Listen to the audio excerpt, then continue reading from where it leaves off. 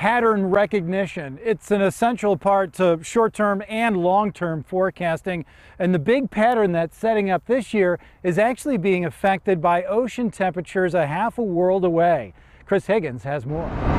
Yeah, Glenn, it is pretty amazing that changes in water temperature half a world away can have such a big impact on our weather patterns here across the United States. But that's exactly why we've been watching the Central Pacific over the last couple of weeks and months because here's what's going on.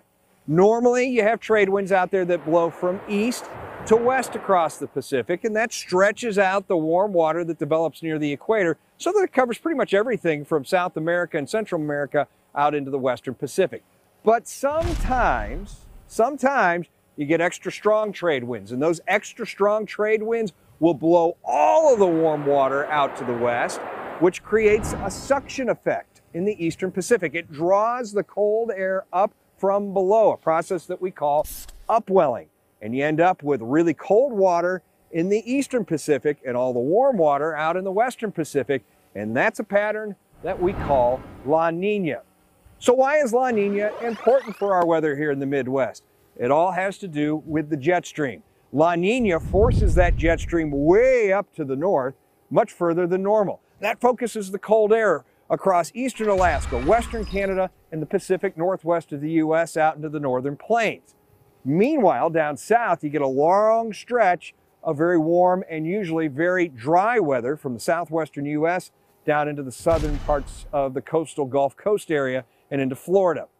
In terms of precipitation, most of the heavier rain and snow is focused in the Pacific Northwest, but there's also a little small zone down in the Ohio Valley that has slightly higher precipitation as well. And St. Louis is right on the edge of that. So what does all of this mean for St. Louis during the winter season? Well, let's take a look at what La Nina looks like here in St. Louis. Right off the bat, I'm going to tell you, not every La Nina is the same. They all look somewhat different. Some are warm, some can be cold, some can be both at times. In terms of precipitation, they generally are a little dry, but can sometimes trend a little wet, so not too far from normal. Same goes true for a snowfall. Snowfall can generally range close to normal, about 20 to 25 inches, and we even sometimes throw in a severe weather outbreak or two.